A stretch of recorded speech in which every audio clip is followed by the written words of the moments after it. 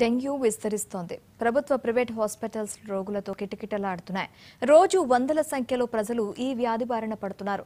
Dengue నిర్ధారణ ఆలస్యం కావడం వల్లే ఎక్కువ మంది చనిపోతున్నారని వైద్యులు ఆందోళన వ్యక్తం చేస్తున్నారు.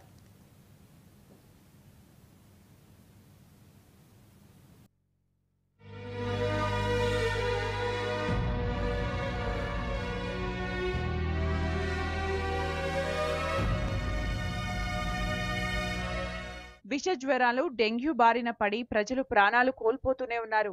ఈ వారంలోనే పది మందికి పైగా ప్రజలు ఈ జ్వరాలతో మృత్యువాత పడ్డారు.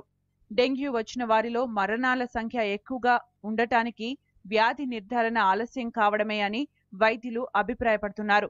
వ్యాధి నిర్ధారణ ఫలితాలు రావడానికి రెండు నుంచి నాలుగు రోజులు పడుతోందంటున్నారు. అందువల్ల ప్రాణ నష్టం జరుగుతోందని డాక్టర్లు అభిప్రాయపడుతున్నారు.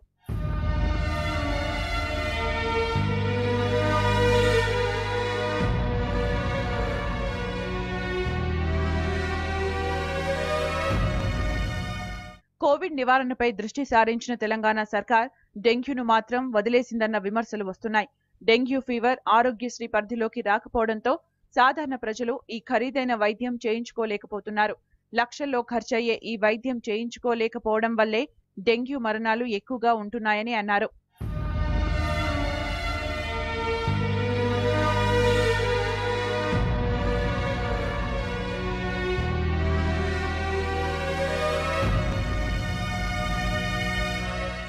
హైదరాబాద్లోని ఒక ఫీవర్ హాస్పిటల్లో యాభై మంది డెంగ్యూతో ట్రీట్మెంట్ పొందుతున్నారంటే పరిస్థితి ఎంత దారుణంగా ఉందో ఇట్టే అర్థమవుతోంది.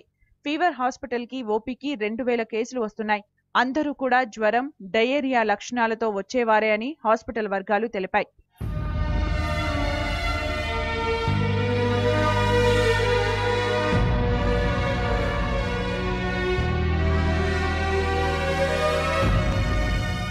గ్రామాలు పట్టణాలు నగరాలు తేడా లేకుండా ప్రజలు రోగాల బారిన పడుతున్నారు.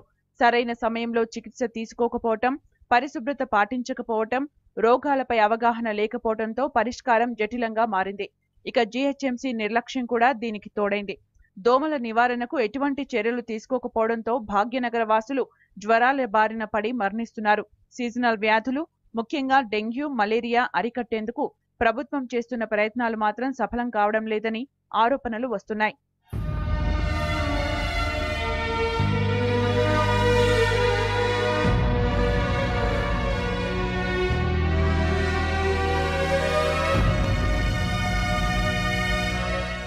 తీవ్రమైన జ్వరం తలనొప్పి నడుం నొప్పి వాంతులు కడుపు నొప్పి కండరాల నొప్పులు వస్తే డెంగ్యూ లక్షణాలని వైద్యులు చెబుతున్నారు అయితే డెంగ్యూ వ్యాధి నిర్ధారణ విషయంలో సమయం కుదించగలిగితే కొన్ని ప్రాణాలైనా కాపాడుకోవచ్చు.